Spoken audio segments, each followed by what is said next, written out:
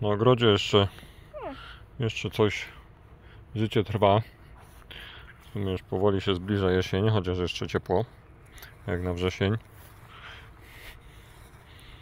Na ogrodzie wszystko urosło jak, jak dzikie. Nawet sosna piękna urosła, nie Stasio? Muszę iść Gdzie? powiedzieć Mamie? mamie, że jest pomidor. Taki duży, Że pomidor rośnie?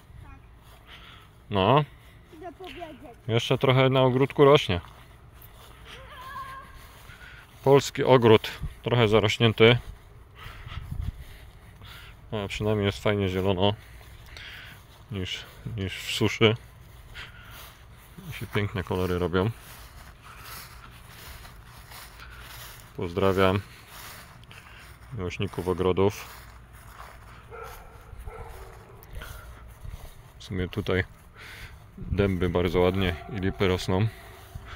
Dąb to dobry metr przyrostu w tym roku, aż dziwne. O! Co to się stało? Tutaj nowe kwiaty na jarzębinie. Tego jeszcze nie było. Tu już kwitnie ładnie. Co to się stało w tym roku?